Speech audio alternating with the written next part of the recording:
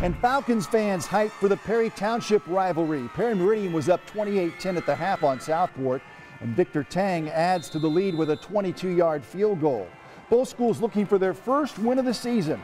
Southport quarterback A.J. Reynolds looks across the middle, finds Pierce Burge open for a 37-yard pickup.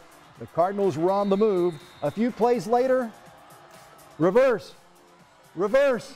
It's a reverse. There he is, Burge with the touchdown. 38-17, Perry Meridian wins this one. I think they're going to let me come back next week and try this again, gang. Rich Knight, so. the sports guy. Great job, great highlights yes. tonight for Kelly and Rich. I'm Scott. Thanks for joining us. Sunrise begins tomorrow at 6 a.m. Have a great weekend.